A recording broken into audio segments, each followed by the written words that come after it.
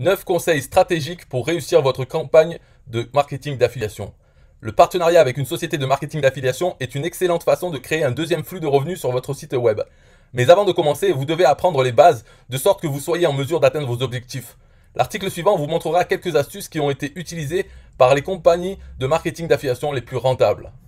Lorsque vous débutez dans le monde du marketing d'affiliation, il est préférable de s'inscrire à un programme d'affiliation qui offre des produits ou des services pour lesquels vous avez une passion. N'acceptez pas tout affilié et faites des recherches. C'était le premier point. Deuxième, une bonne stratégie de marketing d'affiliation que vous pouvez utiliser est de fixer un délai de disponibilité pour certains produits. Lorsque les clients savent que le produit n'est disponible que pour une période limitée, ils peuvent ressentir un besoin de passer à l'acte d'achat maintenant avant que l'affaire ne disparaisse. C'est une excellente stratégie pour stimuler les ventes. Troisièmement, les produits mainstream peuvent être plus faciles à commercialiser et à vendre. Beaucoup de gens évitent les produits populaires en raison de la concurrence. Les niches populaires ont cependant fait leurs preuves. Ils ont démontré que les gens s'intéressaient à eux et cet intérêt peut se transformer en profit.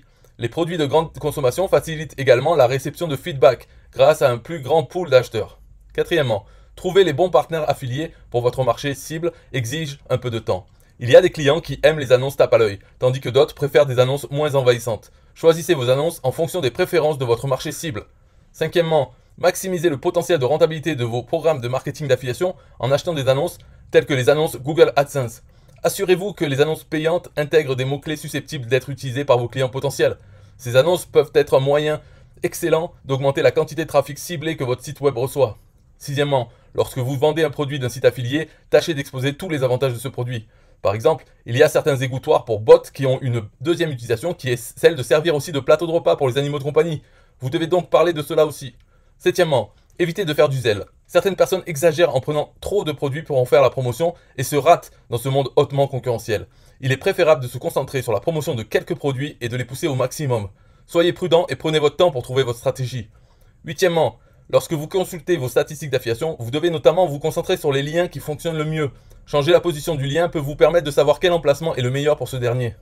Neuvièmement, au début de votre nouveau business d'affiliation, proposez les produits d'entrée de gamme avant de proposer les produits haut de gamme d'un programme d'affiliation. Les produits moins chers vous aideront à gagner plus d'argent avec des volumes plus élevés. En revanche, les produits chers ont besoin de beaucoup d'efforts de la part de l'éditeur.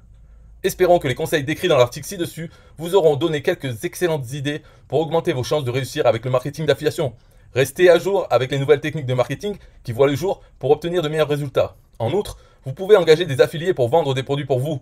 Et gardez à l'esprit que la diversification de vos flux de revenus peut être très utile pendant les périodes pauvres.